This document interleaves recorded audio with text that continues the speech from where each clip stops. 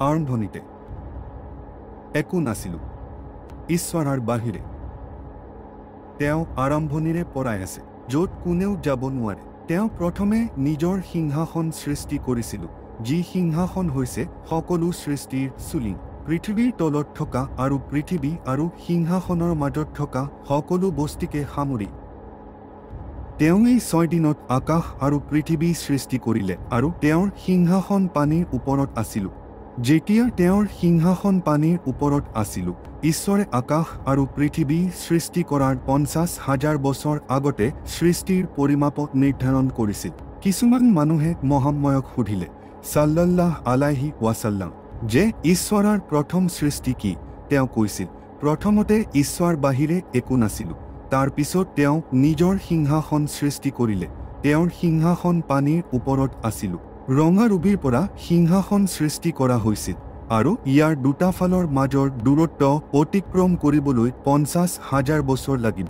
সিংহাসনৰ ভৰি আছে যিবোৰ স্বৰ্গদূতে বহন কৰে আৰু তাৰ পিছত তেওঁ সঁচাকৈয়ে মহামহিমৰ লগত খাপ খোৱাকৈ সিংহাসনৰ ওপৰত উঠিলো। তাৰ পিছত তেওঁ নিজৰ সৃষ্টিৰ বাবে প্ৰথম বস্তুত সৃষ্টি কৰিলে। সেইটোৱেই আছিল তেওঁৰ কলম। তাৰ পাছত তেওঁ ইয়াক ক'লে লিখা আৰু সেই সময়তে যি ঘটিছিল সেই সকলোবোৰ কিয়ামৰ দিনলৈকে লিখা হলো। তাৰ পিছত তেওঁ ৰেকৰ্ডত সকলো লিখিলে।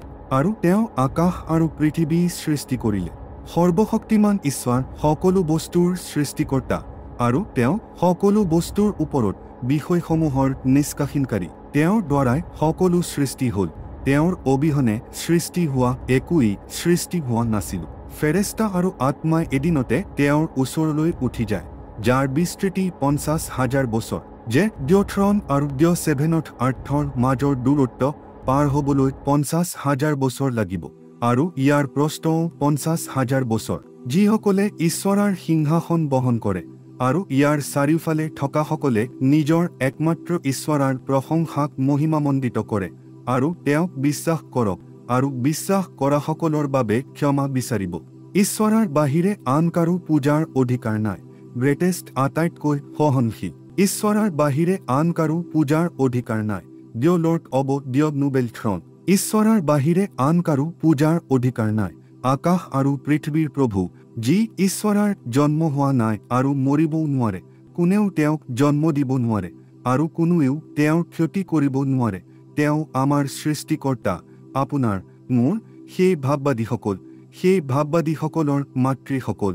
আমাৰ সকলোৰে এই পৃথিৱী।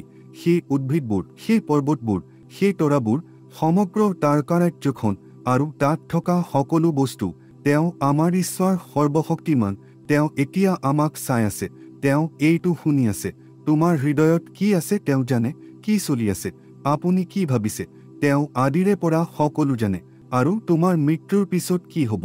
মহম্মদ চাল্লাল্লাহি আলাহি ৱাচালামে কয় সৰ্বশক্তিমান ঈশ্বৰৰ এজন স্বৰ্গদূত যি ঈশ্বৰৰ সিংহাসন বহন কৰে যে তেওঁৰ কাণৰ গুৰি আৰু কান্ধৰ মাজৰ দূৰত্ব সাতশ বছৰৰ যাত্ৰা। দূৰত্ব সাতশ বছৰ উৰি থকা চৰাইৰ দৰে আৰু তেওঁৰ কুৰ্চী আকাশ আৰু পৃথিৱীৰ ওপৰেৰে বিস্তৃত আৰু তেওঁ সেইবোৰ ৰক্ষা আৰু সংৰক্ষণ কৰাত কোনো ক্লান্তি অনুভৱ নকৰে আৰু তেওঁ সৰ্বোচ্চ মহান। কুৰ্চী আমাৰ সকলো সৃষ্টিৰ ওপৰত আৰু সিংহাসন কুৰ্চীৰ ওপৰত।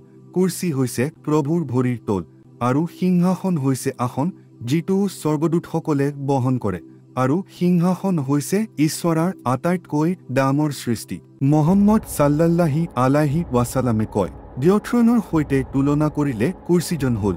পৃথিৱীৰ মুকলি মৰুভূমিত পেলোৱা লোহাৰ আংঠিতকৈ বেছি নহয়। কুৰ্চী হৈছে ভৰিৰ তলত আৰু ঈশ্বৰৰ বাহিৰে আন কোনোৱেই সিংহাসনৰ সঠিক অনুমান কৰিব নোৱাৰে।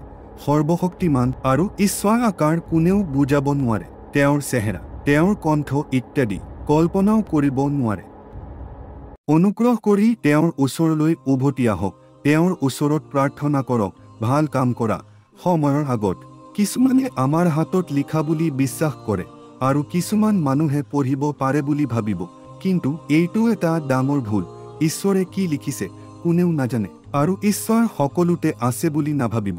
বা তেওঁ যে আমাৰ হৃদয়ত আছে সেয়া হৈছে ভুল বিশ্বাস। তেওঁ সিংহাসনৰ ওপৰত আছে তেওঁৰ শক্তি আৰু জ্ঞান সকলোতে আছে কিন্তু তেওঁ নিজেই পৃথিৱীত নাহে। অন্ততঃ ৰাতিৰ প্ৰতিটো শেষ ঘণ্টাত তেওঁ আটাইতকৈ নিম্ন আকাশলৈ নামি আহে। আৰু কোৱা মই তেওঁক উত্তৰ দিবলৈ কোনে মোক মাতিছে?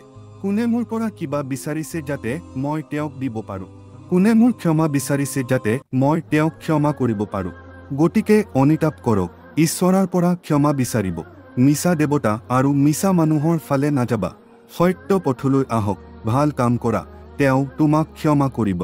মহম্মদ চাল্লাল্লাহি আলাহি ৱাচালামে কয় ঈশ্বৰে দয়াক এশ ভাগত সৃষ্টি কৰিলে আৰু তেওঁ নিজৰ লগত ঊননব্বৈটা অংশ ৰাখিলে আৰু তেওঁ পৃথিৱীলৈ দয়াৰ মাত্ৰ এটা অংশহে পঠিয়াইছে আৰু ইয়াৰ কাৰণে মাত্ৰ এটা অংশ। পৃথিৱীৰ সকলো সৃষ্টিৰ মাজত পাৰস্পৰিক প্ৰেম আছে। সেইবাবে জন্তুটোৱে নিজৰ পোৱালিটোৰ পৰা খুৰাটো ওপৰলৈ তুলি লয়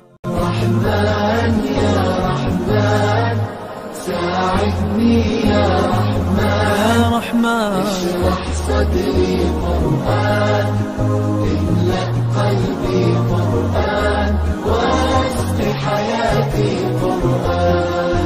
رحمن رحمن ساعدني يا